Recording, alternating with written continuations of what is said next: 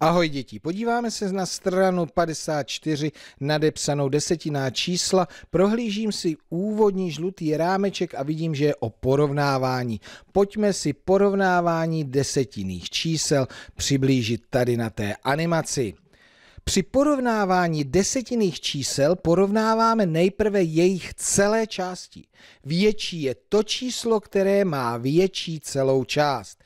Tak, zabarvily se nám celé části a vidím, že 2,98 setin je menší než 3,98 setin, protože tady je celá část dvojka, tady trojka, tři je větší, takže můžu o tomto desetiném čísle toto prohlásit. Tady porovnávám další číslo. Jedničky, desítky jsou stejné, jdu na jednotky a tady už to vidím. Čili dvě jednotky, čtyři jednotky, takže mohu prohlásit, že 12,91 setin je menší než 14,12 setin. Rozhodly nám tady ty jednotky. No a pokračujeme dál. Máme zde další číslo a pozor, tady celá část 9, celá část 1, takže mohu prohlásit, že 9,1 desetina je větší než 1,9 desetin. Pokud jsou celé části desetinných čísel stejné, porovnáváme jejich desetinné části. Porovnáváme postupně zleva doprava číslice stejného řádu. První různé číslice určují, které číslo je větší.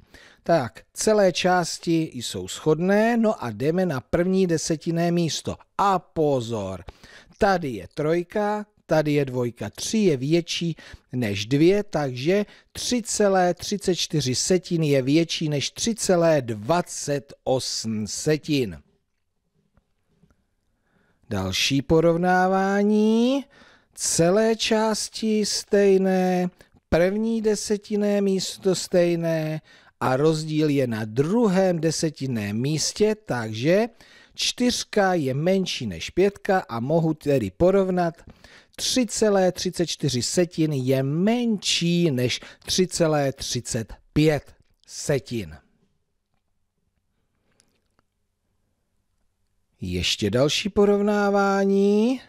No a tady je všechno stejné, takže jak celé části, tak desetinné části takže tady bylo 3,30 setin rovná se 3,3 desetiny. No tak to by byl základ pro porovnávání desetinných čísel. Začínáme celými částmi, když se liší, tak tam, kde je větší část, tak tam je větší desetinné číslo, když, des, když celé části nerozhodnou, jde se od leva doprava na desetinné části. Pojďme si to vyzkoušet do prvního cvičení desetinými čísly zapište, jaká část obdelníku je modrá, červená a zelená.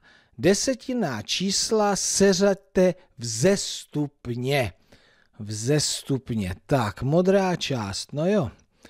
Takže celý obdelník je rozdělen na 1, 2, 3, 4, 5, 6, 7, 8, 9 na desetiny a modrá část jsou 4 desetiny. Takže žádná celá, nula celá, desetiná čárka, 4 desetiny. To je modrá část. Tady je to 5 desetin, takže 0,5 desetin a tady je jenom jedna část 0,1 desetina.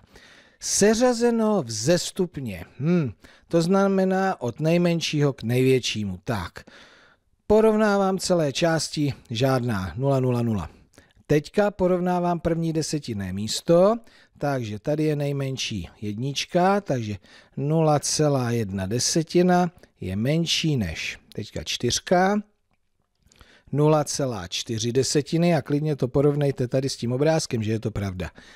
A je menší než 0,5 desetin. Tak a tohle Bčko, uh to vypadá na setiny. 5, takže 5, 10, 20, 30, 40, 50, 60, 70, 80, 90, 100. Mm, takže na setiny A tady to je 5, 10, 15, 20, 25 setin. 25 tak čtverečku, jeden čtvereček je jedna setina. Takže žádná celá, 0 celá, 25 setin je modrá část, červená. 5, 10, 15, 20, 25, 30, 35, 40. Je to možný, jo.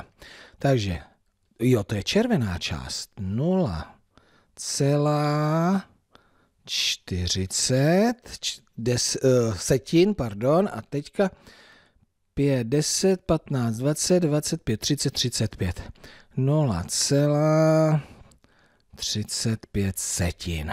Tak, vzestupně, čili od nejmenšího. Nuly jsou ještě uh, na začátku, takže ty, ty nám nerozhodnou, ale rozhodne nám tady ta první desetina, první desetiné místo. Takže začínám 0,25.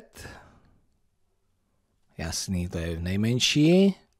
Je menší než 0,35 setin a je menší než 0,40, čili 0,4 desetiny. Pojďme se podívat na řešení. Ano, ano, ano. Tak, bezvadný. Takže co jsme se naučili? Naučili jsme se porovnávat desetiná čísla.